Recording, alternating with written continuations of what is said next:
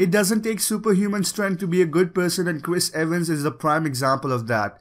As Regina King stood to accept the award for Best Supporting Actress, the Captain America star offered her his hand as support as she climbed the steps to the podium. The King gesture did not go unnoticed by much of the people who watched the TV from the comfort of their home. One Twitter user proclaimed Chris Evans is the superior Chris, that is all.